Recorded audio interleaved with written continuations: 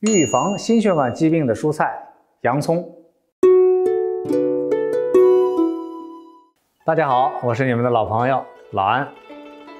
说起洋葱啊，它是我们日常生活当中常见的一种食材，而且呢，有着“蔬菜皇后”的美誉，是许多营养学家极力推荐的养生蔬菜，药食俱佳，功效良多。那么洋葱都有哪些主要的功效呢？我们一起来看。首先，它可以预防血栓。洋葱当中含有多种的硫化物，它们可以直接抑制胆固醇的合成，具有预防血栓以及动脉硬化的功效。另外，可以清除体内的自由基。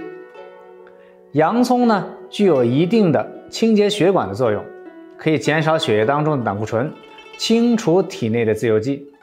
最后，还可以啊，防治心脑血管疾病。洋葱含有的前列腺素 A 能够扩张血管，降低血液粘度，从而呢具有降血压、增加冠状动脉血流量、预防血栓形成的作用。除此之外呢，洋葱搭配不同的食材呢会有不同的功效。我们一起来看，洋葱加番茄，抗衰老的高手。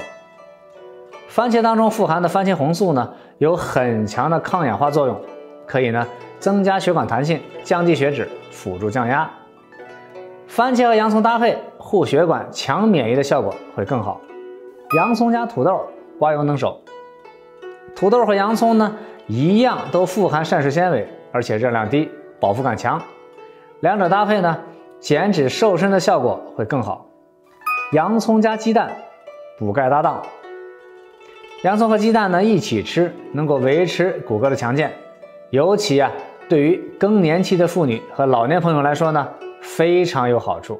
虽然呢，很多朋友喜欢吃洋葱，但是啊，一切洋葱就会被熏得泪流满面。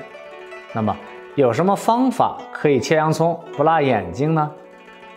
第一个方法，冷藏啊，把洋葱放到冰箱里面冷藏个十到十五分钟，再取出来赶快切，就不容易辣到眼睛了。第二个方法，蘸水切。切洋葱之前呢，用水啊冲洗刀的两面，切的时候呢还不断的沾水呢，就能大大减少辣味物质的挥发量。这个小方法您学会了吗？如果您觉得老安说的对您有帮助的话呢，可以点亮再看，也可以点击左下角的分享按钮，把视频转发出去，让更多的人获益。看更多养生常识、食疗妙方，请点击微信右上角的加号按钮，选择呢添加朋友。公众号搜索“老安谈健康”并关注，快去关注吧。